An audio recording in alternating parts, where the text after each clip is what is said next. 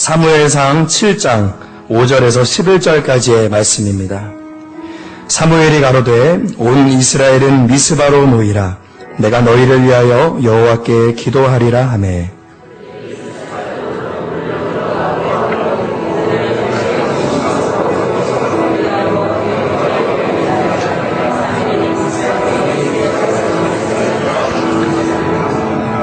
이스라엘 자손이 미스바에 모였다 함을 블레셋 사람이 듣고 그 방백들이 이스라엘을 치러 올라온지라 이스라엘 자손이 듣고 블레셋 사람을 두려워하여.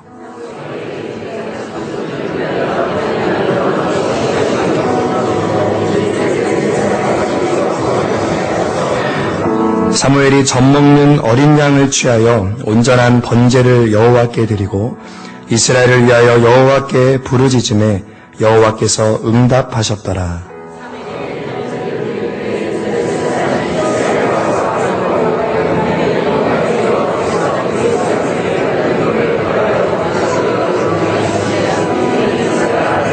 함께 읽겠습니다.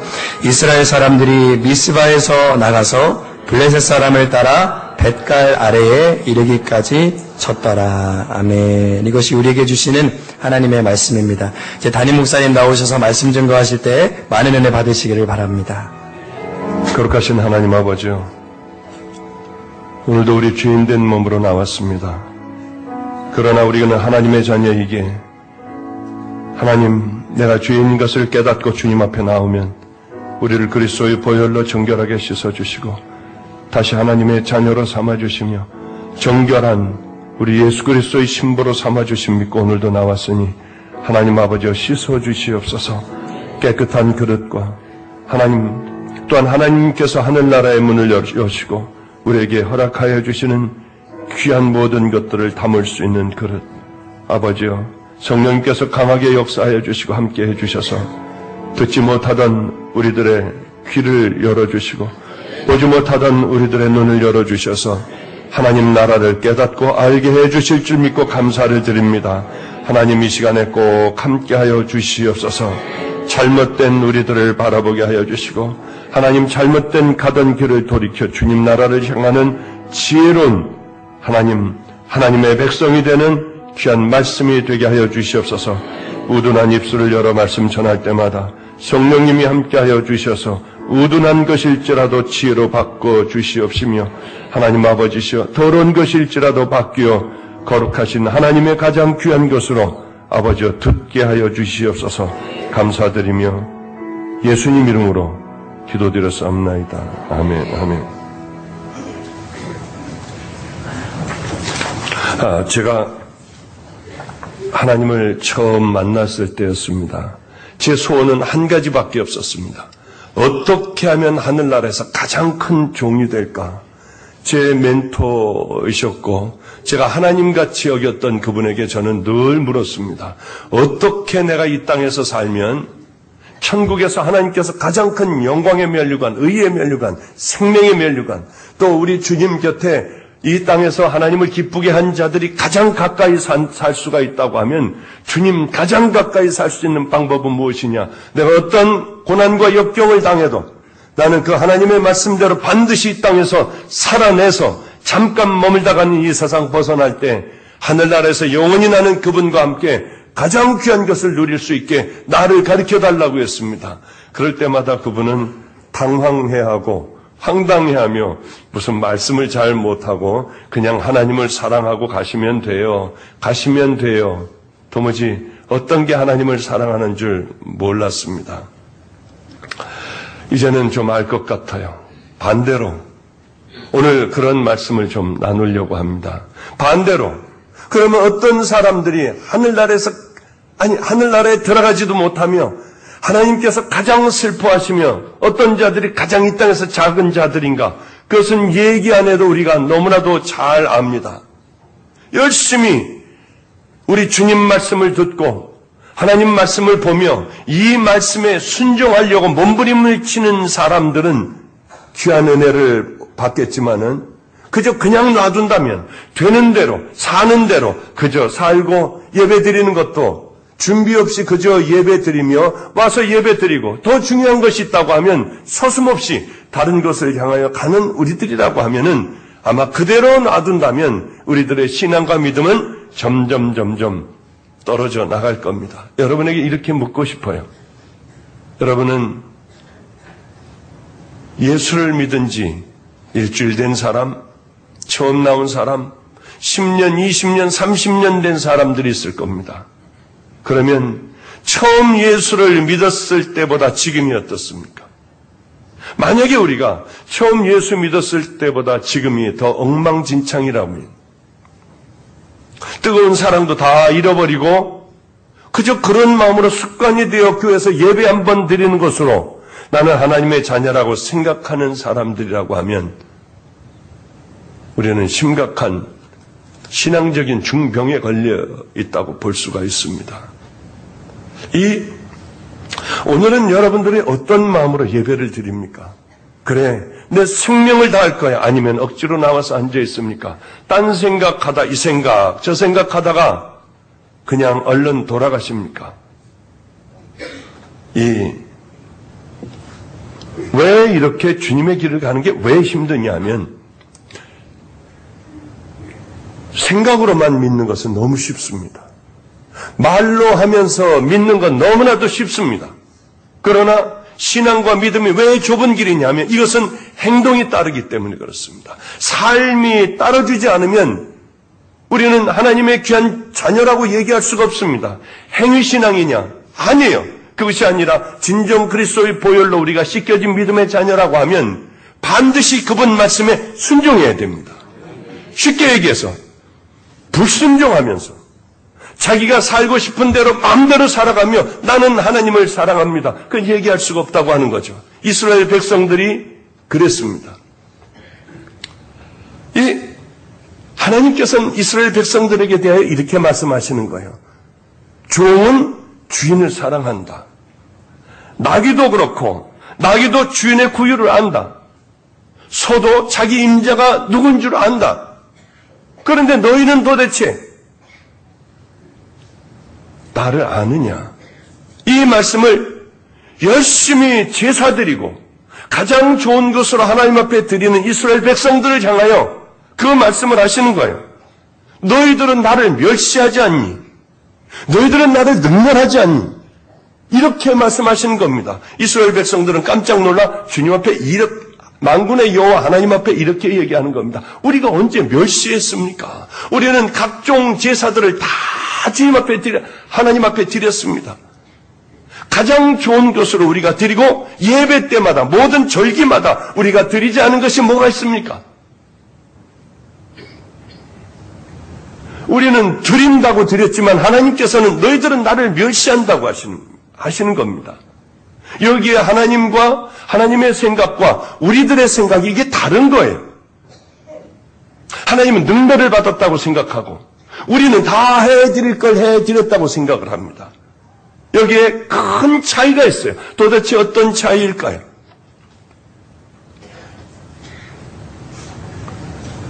이 하나님은 불경스러운 예배를 드렸다고 하시는 거예요. 여러분들은 이 예배를 어떻게 준비하고 나오셨고, 여러분들에게는 주일날 이 예배가 어떤 의미가 있는 예배입니까?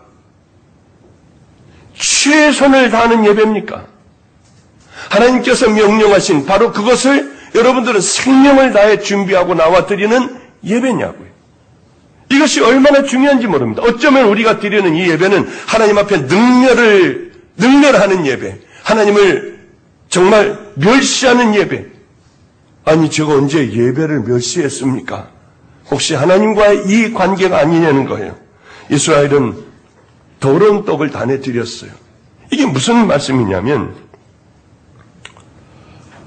아, 예, 하나님 앞에 제사를 드리는데, 가장 최선의 것을 드리지 않고 쓰고 남는 것을 드린 거예요. 우리도 혹시 그저 지옥 갈까봐 주일날 한 번 예배 한 번 슬쩍 드리고 돌아가며 나는 할 것을 다 했다고 얘기하지 않느냐는 거예요. 여러분들이 지금 이 시간에 예배 드리고 있는 여러분들의 마음의 중심은 어떻습니까? 정말 하나님 앞에 가 있나요? 저는 여러분들 제가 혹시 잘못 예배를 드릴까봐 최선을 다해 준비해요. 불안해요. 이 오늘 같은 경우도 그냥 아 내가 이렇게 잠자면 안 되는데 잠자면 안 되는데 하고 번떡 깨서 이게 한 두 시간 한 시간마다 한 번씩 설교 준비한 걸 다시 한번 보고 아우 이제 됐어. 하고 또 자다가도 내가 다른 사람들에겐 최선을 다한 예배 준비를 하라고 이러면 되나 얼른 바지 주워 입고요. 또 엎드려서 이 침대 밑에서 엎드려서 하다가 또 잠을 자고 일어나다 번쩍 깨가지고 아, 내가 이러면서 하나님 다른 사람들에게 예배 준비 잘 하라고 할 수 있나? 그래. 이 주일만큼은 좀 잠이 모자란다 해도 열심히 해야겠다. 오늘은 저는 우리찐이라고 하는 곳을 가요. 아마 차를 타고 한 다섯 시간 정도 몰고 가야 된다고 해요. 그렇기 때문에 잠을 잘 자고 가지 않으면은 분명히 참 어려움을 많이 당할 것 같습니다. 근데 왜 그러냐면 하나님 앞에 가장 귀한 것을 드리고 싶어요. 쓰다 남은 조가리를 드리는 것이 아니라요. 이 이스라엘 백성들은 하나님 앞에 제사를 드린다고 하며 눈먼 것을 드렸어요. 저는 것을 드렸어요. 그래도 겉으로 보기에는 멀쩡하다고 하며 그래도 이것은 내게 가장 귀한 것이라고 하며 병든 것으로 제물을 드렸어요. 희생하는 것을 드리고 하나님 앞엔 가장 귀한 것을 드려야 하는데요. 저는 요즘에는 마음이 얼마나 많이 놓이는지 모릅니다. 왜냐하면 헌금 바구니를 우리는 돌렸었습니다. 그러다가 가만히 이 마가의 다락방에서 헌금하는 것을 보면은 그렇게 하지 말라고 했던 그저 천 원짜리 이렇게 네 번에 접은 거 요만한 것이요.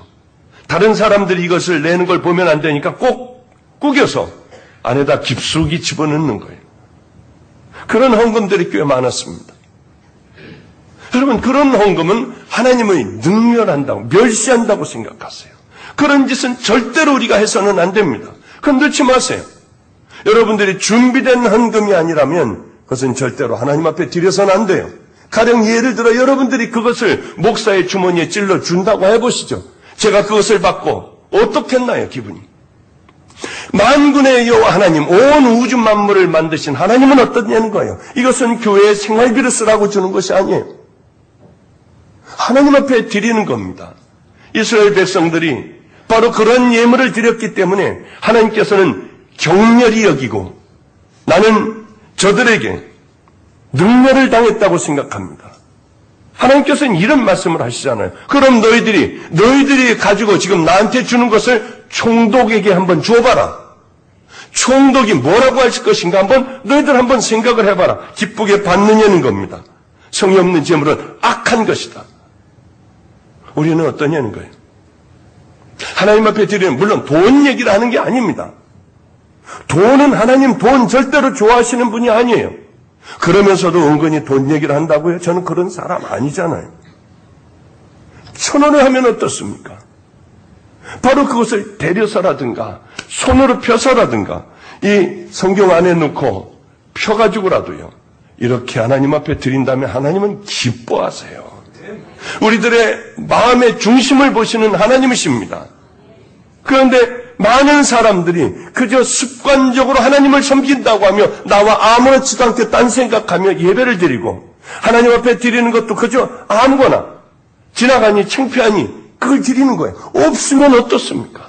기도하고 계세요. 이제는 여러분들 앞에 헌금 바구니가 돌아가지 않으니 여러분 절대로 그런 것은 넣어서는 안 돼요. 적은 것이 아니라 하나님을 능멸하는 것은 넣지 말자고 하는 겁니다. 준비된 것들만, 준비된 사람들만 넣어도 돼요. 아무것도 없어도 돼요. 무엇보다도 우리에게 중요한 건 각각 여러분 한 심령 심령이 하나님 앞에 온전한 모습으로 서는 것이 우리에겐 가장 중요한 겁니다. 우리는 큰 교회 재단 앉아요. 우리는 들어오는 곳마다 다 거의 대부분을 선교하는 데 쓰고 구제하는 데 쓰고요. 그 교육자들 사례비 하는 데 써요. 거의 다른데 교회 유지하는 데 전기비니 뭐니 이런 것에 써요. 오늘은 저 방송실에 있는 아이들이 목사님 방송실에 있는 애들이 굉장히 고생을 많이 해요. 그러니 우리 돈 조금만 주셔서 아이들과 함께 식사를 했으면 좋겠어요.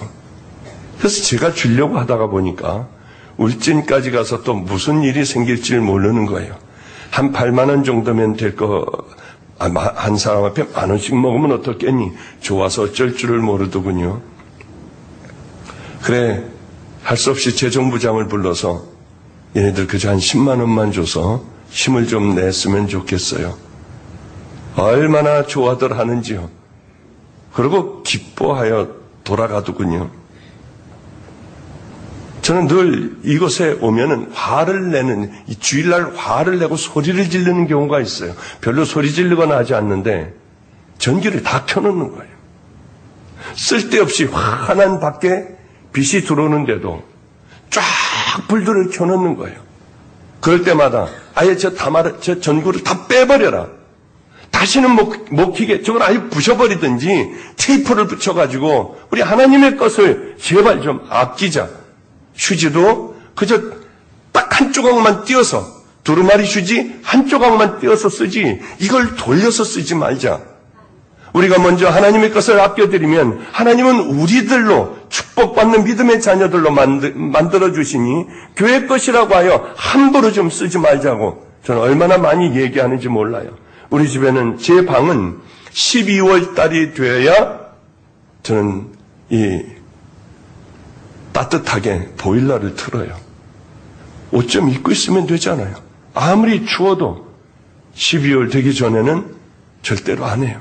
감기가 걸려 콜록거리면서도 옷을 입고 자지 저는 틀지 않아요. 왜 그러냐면 주님의 것이잖아요. 하나님의 것이지 않습니까? 그리고 우리 집에는 전화를 걸 수가 없어요. 전화를 못 걸게 만들어 놨어요. 받는 전화만 해놨습니다.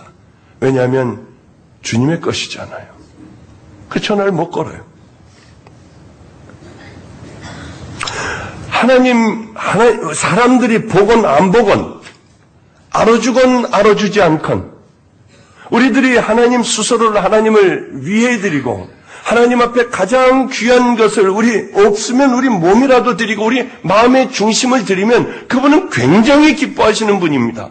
세상이 말하는 돈을 많이 내는 사람을 하나님은 절대로 기뻐하지 않으세요. 부자를 싫어한다는 것이 아니라 겸손하게 하나님 앞에 살아가는 사람은 마음을 하나님 앞에 드리는 사람을 하나님은 참 기뻐하신다고 하는 것이에요.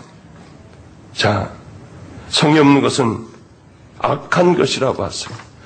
왜 하나님께서는 능멸을 받았다고 생각하고 경멸을 받았다고 생각을 하느냐? 바로 그렇기 때문에 그래요. 그럼 그 이유는 뭘까요? 하나님을 정말 사랑하지 않아서 그렇습니다. 정말 사랑한다면 여러분 가장 세상에서 사랑하는 사람에게 병든 것을 주겠나요? 저는 그 눈먼 것들을 주겠습니까? 이 땅에 사랑하는 사람들에게도 우리는 그럴 수가 없어요. 하나님의 판단은 너희들이 나를 사랑하지 않는다. 이 판단입니다. 또 하나는 제사장들이 타락을 해버렸어요. 자기들이 먹고 살아야 하니 병든 것이라도 가져오라고 하는 겁니다. 하나님 앞에 똑바로 세우는 것보다는 자기들의 이익에 눈들이 멀어 그것이라도 가져오는 것을 용납한 거예요. 그래서 병든 것이라도 저는 것이라도 다 자기 것들을 삼기 위하여 철저하게 야단을 치며 다시 돌려보내지를 못했던 겁니다. 여러분 우리가 이 세대를 살아가며 우리들은 말씀을 맡은 자들은 당연히 회개를 외쳐야 합니다. 이 시대에 백성들은 몰라도 백성들은 몰라도 최소한도 제사장들은 그 재물이 하나님 앞에 적합한 것인가 아닌가. 그러나 침묵을 해버렸고 타협을 해버렸습니다. 이 세대가 그 세대가 아닌지 우리는 다시 한번 생각을 해봐야 됩니다. 이 세대가 이스라엘의 능, 이스라엘이 하나님을 능멸했던 그 세대인지 아닌지 우리는 다시 한번 주님 앞에 반성해 봐야 합니다. 오늘의 본문의 내용들이 그런 내용들입니다. 이 하나님께서는 이스라엘이 회개를 할 때는 함께 해주셨습니다. 이스라엘이 우상들을 던져버리고 전심으로 여호와를 찾을 때 하나님께서는 그들이 그들을 대신하여 블레셋과 나가 싸우고 이방 민족들과 나가 창과 칼과 방패 대신에 여호와의 손길이 칼을 잡고 나가 그들을 다 해쳐버리셨습니다. 전쟁에 능하신 하나님이라고 이스라엘들은 고백했습니다. 그러나 그들이 범죄하고 하나님을 능멸하고 하나님을 사랑하지 않고 살아갈 때 그리고는 세상의 다른 것들을 붙잡으며 바알과 아세라를 섬길 때 여지없이 그들은 이웃 국가들에 의하여 괴롭힘을 당했습니다. 그런데 늘 이렇게 괴롭힘을 당하던 이스라엘이 아, 오늘 본문의 11절에 보면 전혀 다른 민족이 되어 있는 겁니다. 7장 11절을 제가 봉독하겠습니다. 이스라엘 사람들이 미스바에서 나가서 블레셋 사람을 따라 뱃갈 아래 이르기까지 쳤더라. 이스라엘 백성들은 지금까지 바로 이 전까지 블레셋에 의하여 모든 것을 다 뺏겼습니다. 하다못해 대장간에서 나타나 치는 것마저도 할 수가 없었습니다. 왜냐하면 블레셋이 이미 그들을 다 점령해버리고 그들, 그들을 아, 이렇게 관리를 했기 때문에 그렇습니다. 아무것도 할 수가 없었습니다. 블레셋은 칼, 창, 단창, 뭐, 이 마차들, 전차들, 모든 것을 다 갖고, 갖고 있었지만 이스라엘은 지금 그저 막대기와 돌멩이밖에는 없었어요. 이것은 분명히 이 싸움이 안 되는 그런 기가 막힌 다윗과 골리앗의 싸움이었습니다. 포기하고 살았는데 오늘 본문 11절에 보면 갑자기 블레셋을 이스라엘 사람들이 그들을 쳐버린 거예요. 그리고는 백갈까지 따라 내려가 쳐버리고 그동안에 빼앗겼던 모든 성읍들을 다, 다 다시 찾아왔다고 하는 오늘 어, 얘기입니다. 도대체 어떤 일이 있었기에 그랬을까요? 언제 하나님께서 그렇게 강하게 그들을 붙잡아 주셨을까요? 삼손 이래에 블레셋은 이스라엘의 적이었습니다. 늘 괴롭힘을 당했습니다. 언제든지 모든 걸 다 뺏겼습니다. 하나님은 블레셋을 들어 이스라엘을 때리셨어요. 그런데 이렇게 블레셋에게 연패를 당하고 고통을 당하는 이스라엘이 말도 안 되게 블레셋과 싸워 승리하기 시작을 하는 거예요. 13절에 그 뒤에 13절 보면 이런 말씀이 나옵니다. 이에 블레셋 사람이 굴복하여 다시는 이스라엘 경내에 들어오지 못하였으며 여호와의 손이 사무엘이 사는 날 동안 블레셋 사람을 막으심에 어떻게 됐다고요? 이 블레셋이 이스라엘 이 사무엘이 사는 날 동안에 다시는 쳐들어오지 못했고 빼앗겼던 모든 성읍들을 다 차지하게 되었습니다. 놀라운 일이었어요. 말도 안 됩니다. 그 다음에 이스라엘과 아모리 사람의 사이에 평화가 있었다고 그랬어요. 블레셋뿐만이 아니라 아모리인이 이 주변에 있는 모든 국가들을 단 한 번에 지압을 해버린 겁니다. 말도 안 되는 얘기예요. 이때는 이스라엘 형편이 어땠느냐? 아무것도 가진 것이 없었습니다. 칼과 창과 방패도 아무것도 없는 이런 사람들이 이 기가 막힌 일들을 행해 놨습니다. 이게 도대체 어떤 만화 같은 일일까요? 누가 했을까요, 이 일은? 여호와 하나님 아니면 일을 할 분이 아무도 없었습니다. 오늘 10절에 10절을 한번 보겠습니까? 사무엘이 번제를 드릴 때 블레셋 사람이 이스라엘과 싸우려고 가까이 오매 그날에 여호와께서 블레셋 사람에게 큰 우레를 바라여 그들을 어지럽게 하시니 그들이 이스라엘 앞에 패한지라. 자, 이 고대 근동 지방에서는 어떤 생각들이 강하게 있었느냐 하면 벼락이 치거나 천둥 우레가 울릴 때에는 자기들은 저주받았다고 생각했습니다. 그 자기들은 죽음은 신들의 노여움을 다 분명히 죽는다고 생각했습니다. 그런데 블레셋 군사들이 이제 공격을 하려고 하는 그 차에 전쟁에 능하신 하나님께서 천둥과 번개와 우레를 내리 시작하셨습니다. 블레셋 군사들은 분명히 하나님께서 아, 신들이 이렇게 한다고 생각하며 자기들은 죽음이라고 생각하고 도망가기 시작했어요. 서로들 도망가느라 죽고 죽이고 말들은 혼비백산하여 넘어지며 그 틈을 타 우레 같은 소리를 지르며 이스라엘 백성들은 그들을 쫓기 시작했습니다. 이제 쓰러져 놓고 간 칼과 창과 방패를 가지고 블레셋을 따라가기 시작하여 그들의 잃었던 모든 땅들을 다 찾았다고 하는 만화 같은 얘기입니다. 어째 이런 일들이 가능할까요? 주님이 함께 해주셨기 때문에 그렇습니다.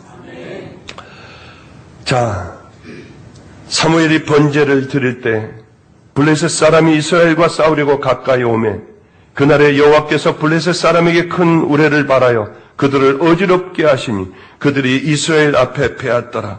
그래 사무엘은 이 전적으로 하나님께서 함께 해주심을 깨닫고 이 미스바와 센사에 돌을 하나를 세웠습니다. 하나님께서 도와주신 도움의 손길이 있었다고 하는 그 비석을 하나를 세우게 되었습니다. 그건 뭐냐면 전적으로 하나님이 하셨다. 우리들은 한 것이 아무것도 없다고 하는 겁니다. 사무엘이 사는 날 동안에 블레셋은 이스라엘을 넘보지도 못했고 이스라엘을 괴롭히지도 못했다고 성경은 기록하고 있습니다. 그래요. 여러분 하나님의 살아계심을 혹시 정말 믿고 깨달으십니까? 우리 교회는 어, 부목사로 임철 목사님이 부목사로 왔어요. 제가 아, 부목사로 이렇게 데려오려고 할 때 어떤 생각을 제가 많이 했겠습니까? 여러 가지 지난 예, 지난 일들을 가만히 이 얘기, 저 얘기, 이 일, 저 일들을 생각하며 과연 누가 방죽교회를 가장 잘 끌고 갈까? 능력 있는 사람 말고요. 잘 생긴 사람 말고요. 이 설교 기가 막히게 하는 사람 말고 누구를 제가 찾겠습니까? 한 번은 이런 일이 있었습니다. 안성에서 정말 힘들게 살 때였어요. 고통 가운데 살 때였습니다. 애들은 키워봐야 애들은 잘 밤낮 새벽마다 끌고 울고 애들에게 복음을 전하고 성경을 외우게 해도 애들은 범죄를 하는 거예요. 훔치는 거예요. 나가 때리는 겁니다. 얘네들이 그렇게 훔치고 난 다음엔 대가를 받아요. 충주, 충주 교도소에 또 한 녀석이 들어갔어요. 정말 사랑하며 끌고 그 많은 세월을 기도하던 아이가 교도소에 또 들어간 거예요. 얼마나 그럴 때마다 기가 막힌지요. 밤에 잠도 안 오고 나는 해도 해도 안 되는 그런 버림받은 종인 모양이야. 그래. 그럼 어떻게 해야 하나? 하고 있는데 교도소에서 이 아이가 편지를 보냈어요. 죄송해요, 목사님. 항상 들어오고 나면은 내가 왜 그랬을까? 고통스러워해요. 그런데 고민이 하나가 있어요. 무슨 고민이냐면 우리가 운동회를 합니다. 그런데 다른 사람들은 다 통닭도 싸우고 이 와가지고 밥도 운동장에서 하고 온 식구들이 와서 해주는데 목사님 저는 아무도 저를 찾아올 사람이 없어요. 그러면 이 안에서도 왕따를 당해요. 젓갈을 가지고 여기저기 얻어먹으면서 다니는데 부끄러워 저는 나가지 않으려고 해요. 또 마음이 또 괴로운 거예요. 제가 알고 있는 목사님은 나를 도와줄 수 있는 목사님은 하나도 없었습니다. 그런데 임철 목사가 관작감리교회라고 하는 곳에 다 쓰러져 가는 교회.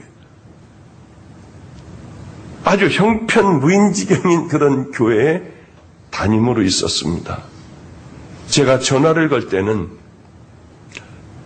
아, 저 쌀이 없이요. 저쌀 좀 주시오. 그런 목사에게 제가 뭘 얘기를 하겠어요? 답답해서 임 목사 나 말이야 우리 애가 교도소에 들어갔는데 얘가 이런 사정이 있어. 염려하지 말래요. 우리가 다 해갈 테니까 염려하지 말. 아니 뭐가 있어? 우리 이런 집사님이 계시는데 이 집사님하고 함께 한번 준비를 해볼 테니까 염려하지 말래요. 그래서 저희 교회로 왔습니다. 그 차를 타고 충주를 향해서 얼마나 기쁜지요. 세상이 다 내 것 같은 거예요. 우리 아이가 절망하고 실망하고 숨어서 나오지 않지 않고 이제는 마음껏 먹을 수 있는 거예요. 우리도 돗자리를 피고 우리도 할 수 있는 겁니다. 가서 돗자리를 펴놨더니 세상에 산더미 같이 음식을 해왔어요. 갈비도 해오고 뭐 닭고기도 해오고 하여튼 뭐 기가 막히게 해와서 여기서 불을 떼가지고 밥도 하고요. 우리도 동일하게 한 거예요. 넓은 돗자리를 펴놓고요. 그 다음에 줄다리기를 하기도 하고 뭐 다리를 둘이 같이 묶고 뛰는 것도 하고 임 목사는 나가가지고 우리 아이하고 함께 한편이 되어 줄다리기도 열심히 하고요. 세상에서 가장 행복했던 날이에요. 아무것도 해줄 수 없었고 그곳에 그곳에 제가 갈 수도 없었는데 얼마나 고마웠던지요. 그리고 겁이 많은 제가 하나님을 만나고 깊은 산 속에 들어가서 12시면은 올라가서 기도할 때였어요. 무덤도 많고 너무 무서웠어요.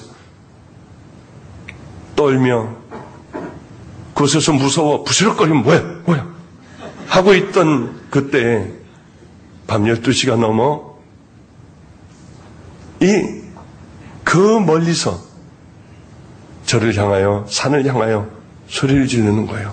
목사님, 목사님 보면 임목사인 거예요. 정말 하나님보다 더 반가워요. 예수님이 나타나신 것보다 더 반가워요. 얼마나 든든했는지. 우리는 산에 올라가 기도를 그렇게 했어요. 제가 누구를 생각했겠나요? 전 진실한 사람을 원했어요. 하나님만 사랑하는 사람이 누굴까 생각하다가 기도하고 주님은 두 말도 않고 하나님의 사랑하는 종을 선택하셨어요. 아무도 오려고 하지 않았고 그런 일에는 참견도 하지 않으려고 했어요. 오늘 참 우리 그 청년 중에 프랑스에서 이제 그 공부하고 거기서 취직해서 패션 디자이너하고 하던 친구가 우리나라의 유명한 어떤 그, 그 패션 하는 곳에 들어가서 그 패션을 일을 담당하고 있는 자매가 우리 교회 청년 청년 중에 한 자매가 그런 자매가 있습니다. 근데 오늘 차를 타고 나오는데 제 가방에 보니까 다 늘어졌어요 이게.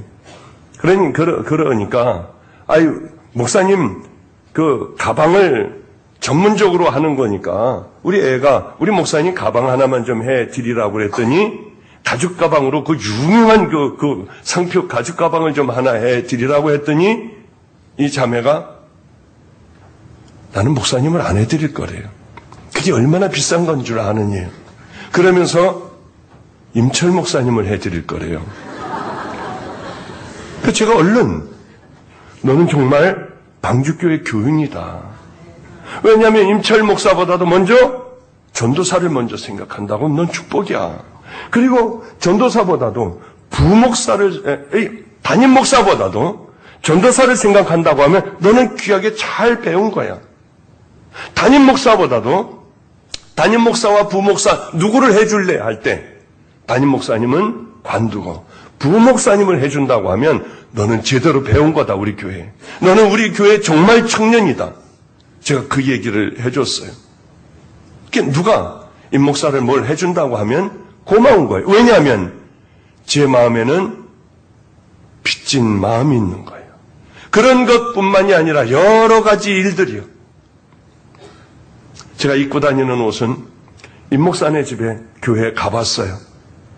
갔더니 제 마음에 딱 드는 어쩌면 그렇게 좋은 옷이 있는지 모르겠더라고요. 주책같이 제가 아 이거 좋은데 아 입으세요. 그래서 그 옷을 입고 왔어요. 그게 항상 마음에 걸리는 거예요. 물론 늘 그것을 가을마다 이때 되면 제가 늘 입어요. 요즘도 뭐 늘 밖에 나갈 때 그 옷을 입고 다녀요. 빚진 마음이 있는 거예요. 하나님도 이스라엘 백성들을 다 기억하십니다. 하나님도 우리가 하나님을 향해 살아온 삶들을 다 기억하세요. 인간도 그런 기억 가운데 모든 것을 판단하여 모든 일들을 결정하는데 하나님은 안 그러시겠습니까?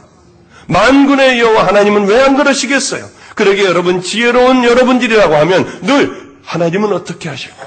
예수님은 어떻게 하실까? 해서 우리 예수님에게 많은 부담, 예수님이 기뻐하셨을 그 일들을 많이 우리가 행하고 살아간다면 그분은 우리와 함께 하여 주시는 분이에요.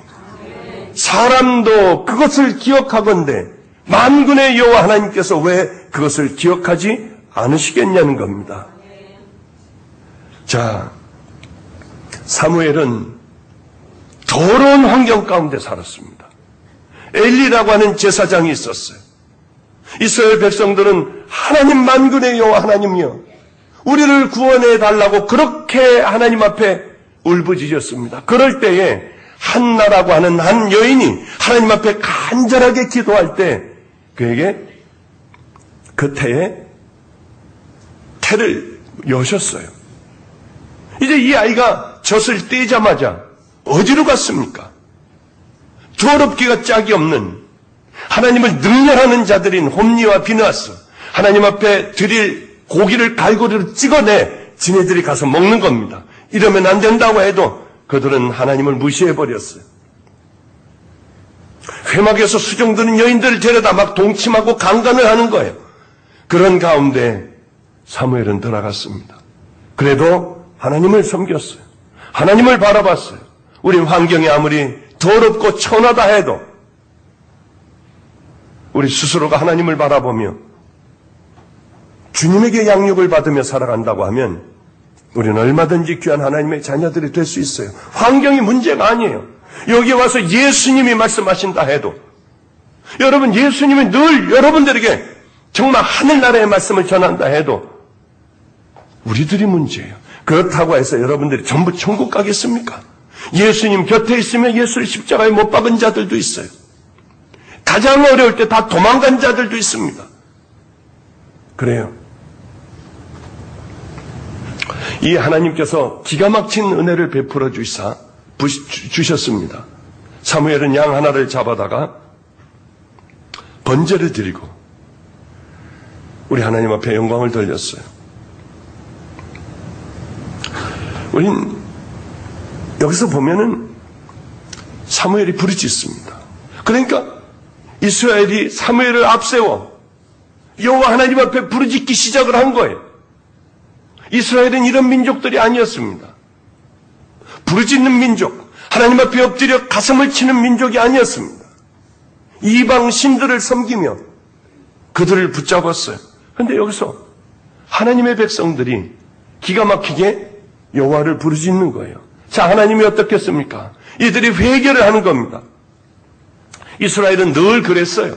삼손 그 시대 때서부터 블레셋과의 싸움이 있으면 이게 늘 블레셋에게 졌습니다. 그러면 이스라엘 백성들은 여호와 하나님을 부르면은 하나님은 그들을 회복시켜 주시고요. 또한 3, 40년이 지나가 다시 범죄하며 다시 음란과 더러운 탐욕 가운데 살던 이들이 다시 여호와를 부르면 하나님께서는 또 그들을 또 어, 세워 주셨어요. 이것이 반복된 이스라엘의 역사였습니다. 그런데 그럴 이 이런 일이 한 번은 있었습니다. 이스라엘이 밤낮 지는 거예요. 사무엘이 사사가 되기 전에 이스라엘 백성들의 제사장이 되기 바로 전에 있었던 일입니다. 더러운 홈리와 비나스가 제사장이었어요. 이제 드디어 블레셋과 한 판이 붙게 됐습니다. 그래 모든 준비를 다 하고 비록 힘은 없지만 나가서 이제 전쟁에 임하게 됐습니다.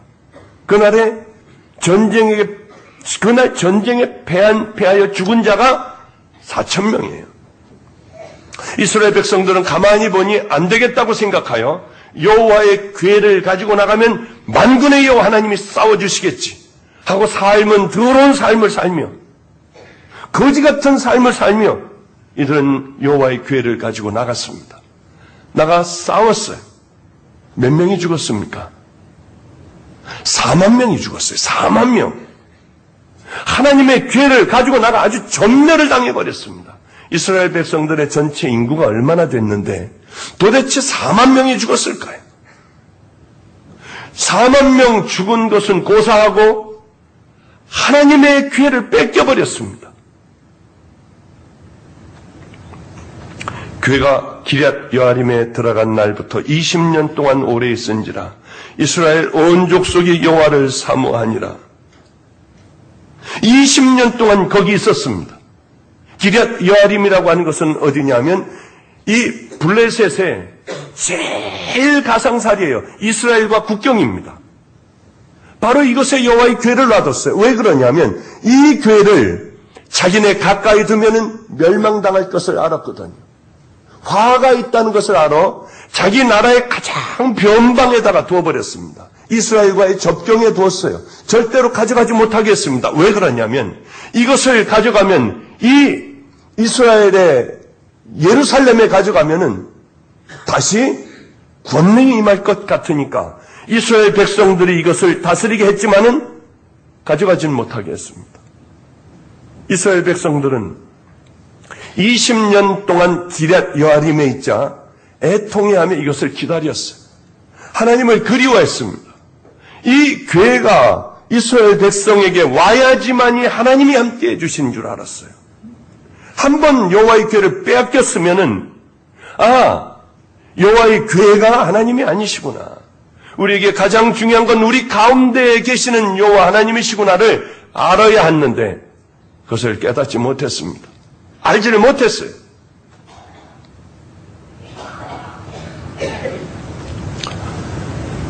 그래 사무엘이 이제 이런 지경에 지도자로 나서게 됐습니다.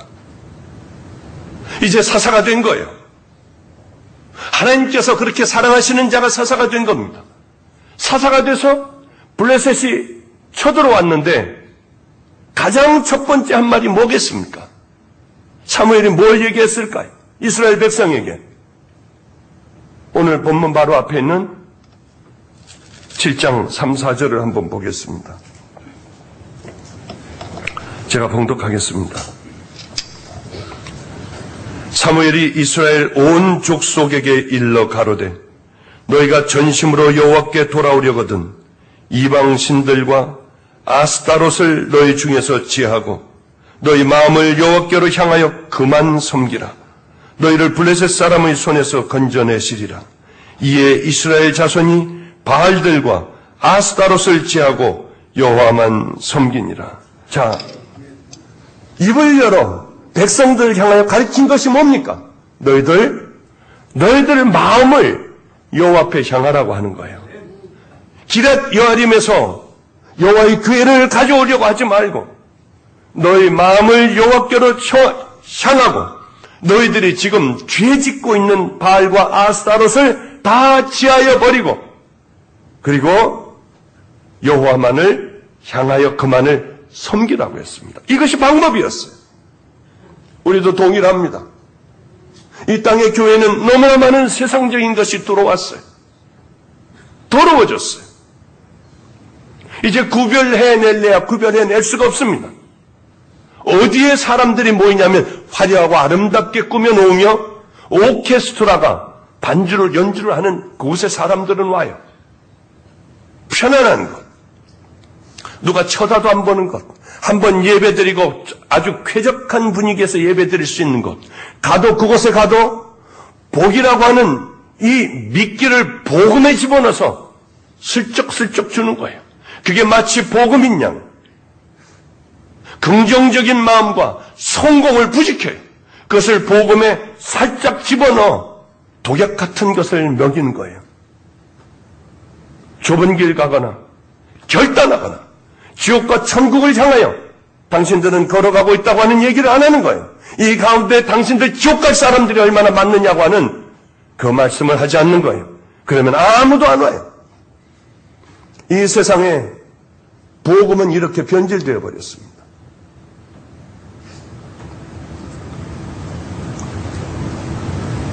이스라엘 백성들이 살 수 있는 방법은 여호와의 괴를 가지고 오는 것이 아니에요. 다시 마음을 여호와를 향하여 다시 여호와를 향하여 마음을 향하고 죄 짓고 있던 그 더러운 것들을 던져버려야 돼요. 그리고 전심으로 여호와만을 섬겨, 섬겨야 합니다. 자, 그 다음에 여호와만을 그렇게 섬긴다고 하면 그리하면이 중요해요. 거기에 따른 복이 있습니다. 거기에 따른 하나님의 이제 우리에게 주실 선물들이 있는 거예요. 그러지 않으면 만군의 여호와 하나님 이름만 부르며 예배 한 번 드린다고 우리가 하나님의 축복을 받겠습니까? 저는 이런 얘기를 많이 해요. 예수를 믿으면 심령이 가난해져야 한다. 그게 축복이다. 애통하며 눈물을 흘려야 한다. 그러나 이 땅에서 예수를 믿으며 구질구질하게 살아가고 가난에 찌들려 살아가는 것이 하나님의 축복이라고 저는 얘기 안 해요.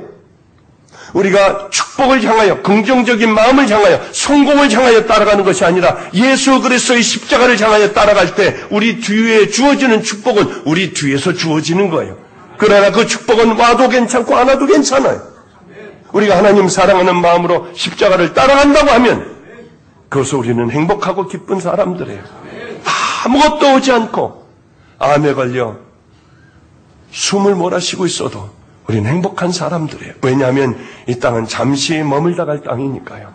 그러나 하나님은 십자가를 향하여 걸어가는 진정한 하나님의 자녀들에게 이 땅에 축복도 또한 허락하신다고 하는 사실이에요.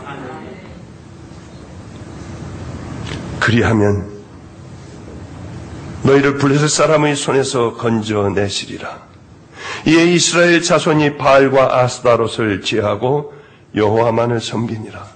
자, 블레셋에게 고통을 당하는 지금 가장 힘든 이스라엘 백성, 그렇게 너희들이 정말 여호와를 섬긴다면, 그러면 블레셋 사람의 손에 건져내시라. 내가 대신 나가 너희들을 싸워준다. 너희들은 힘이 없고 능력이 없으니 너희들이 나를 향하여 전심으로 나를 향하여 마음을 향하여 있고 모든 죄를 던져버리고 그리고 그렇게 순종하고 살아간다면 내가 나가서 싸워줘.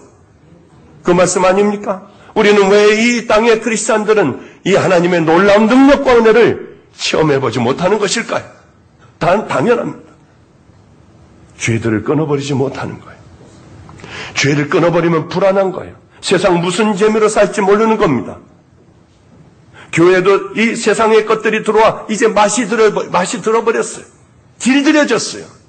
이 맛이 이 맛이 한번 우리가 이 맛을 보면 그것만 찾아요. 그 맛 때문에 교회 나는 사람 얼마나 많냐는 거예요. 그것 때문에 내가 교회를 몇 년 다녔는데 내가 지금 누군데 이 짓들 하고 있는 것 아니겠습니까? 너희가 전심으로 여호와께 돌아오려거든.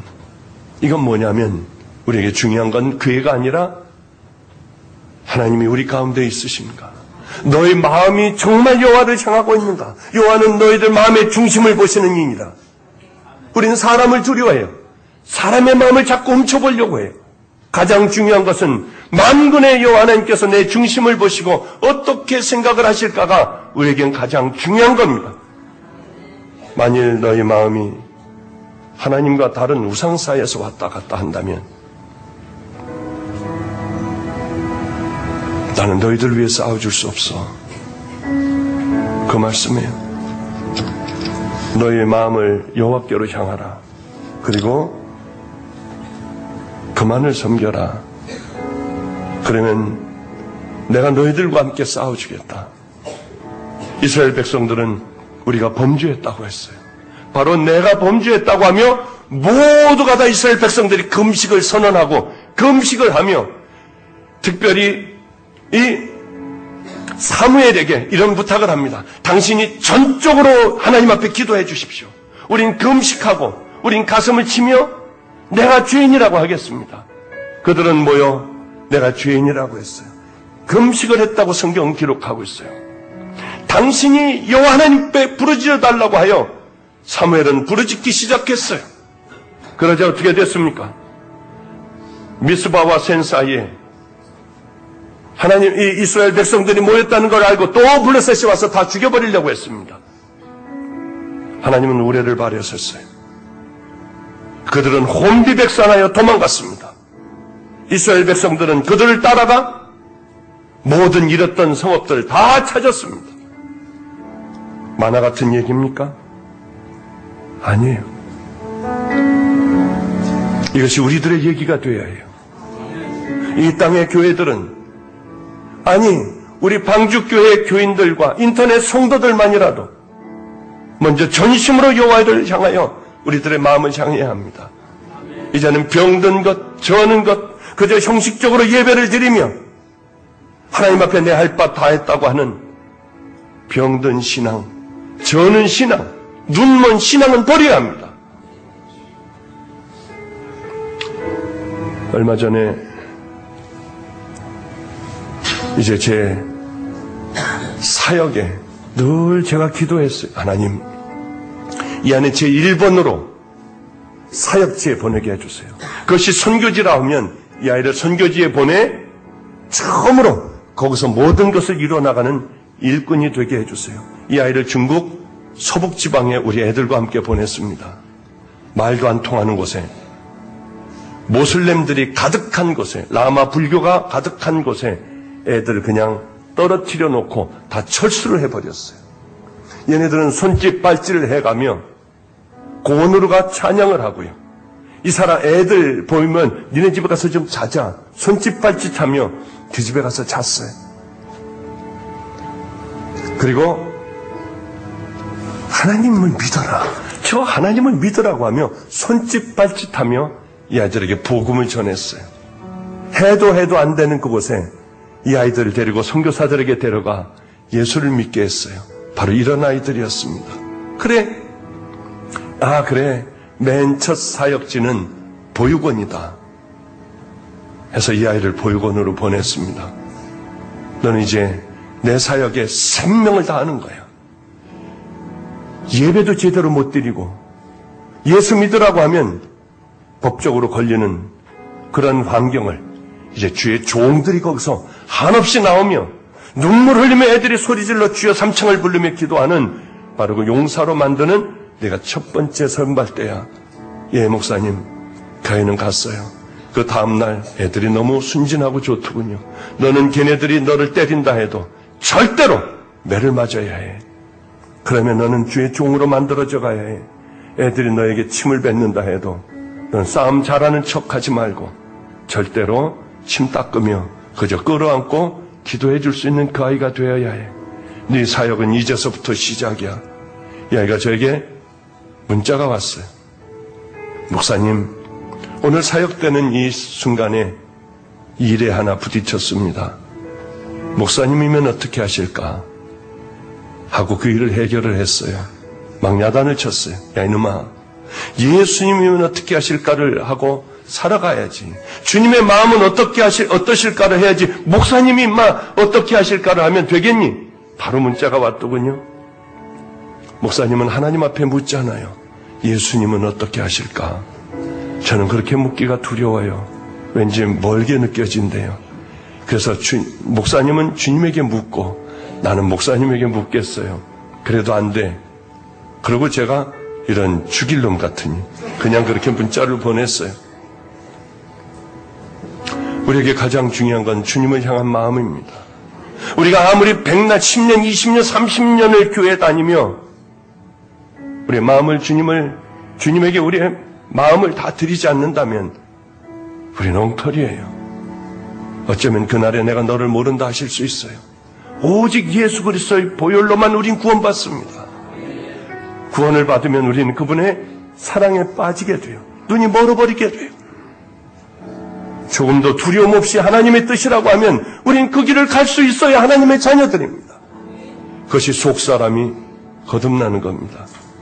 여러분, 많은 사람들은 어쩌면 오늘이 마지막일, 이 마지막 드리는 예배일 것이라고 얘기하는 사람도 있어요. 저는 기도를 깊이 해봤어요.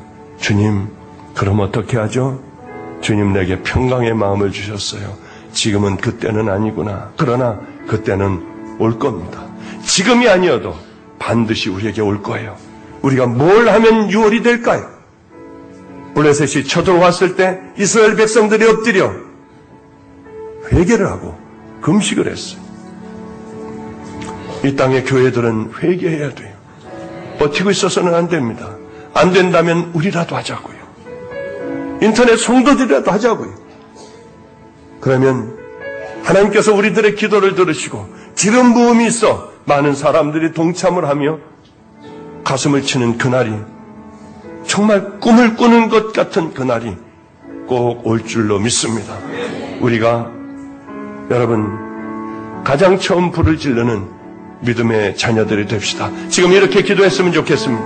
하나님, 그동안 우리는 여호와께 범죄했습니다. 하나님 앞에 마음을 향한다고 하면서도 우리는 전혀 세상을 향한 마음이었습니다. 아버지 우리를 용서해 주시고 이제는 금식하고 회개하며 죄를 끊어버리고 여호와만을 향할 수 있는 마음을 달라고요. 그래 이 모든 진노의 잔이 유월될 수 있도록 지금 우리 한번 주여 한번 불러고 기도하겠습니다. 주여 부릅니다. 주여! 거룩하신 우리 하나님, 우리를 살려주시옵소서. 아버지여, 우리들의 영을 살려주시고, 우리들의 육신을 살려주시고, 이 나라의 교회들을 살려주시옵소서. 하나님 우리가 먼저 철저하게 회개하게 하여 주시고, 거룩하신 하나님 나라를 향하여 걸어가는 은혜로운 믿음의 자녀들 되기를 소원합니다. 자비로우신 하나님, 붙들어 주시옵소서. 인도하여 주시옵소서. 역사하여 주시는 은혜가 우리에게 임하기를 간절히.